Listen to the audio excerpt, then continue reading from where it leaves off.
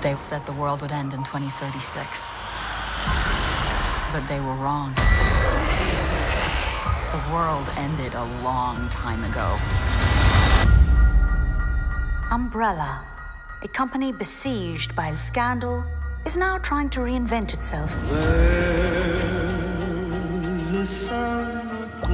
The old umbrella made mistakes. The things we're working on today, they're gonna change the world. We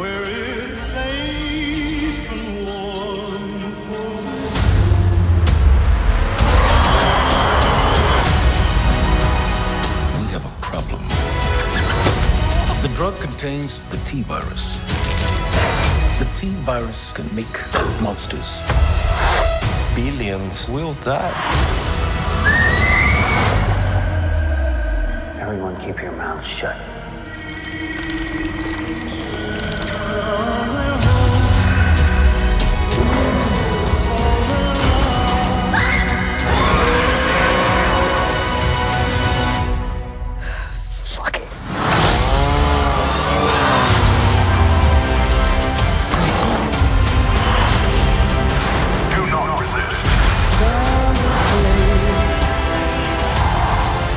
complicated.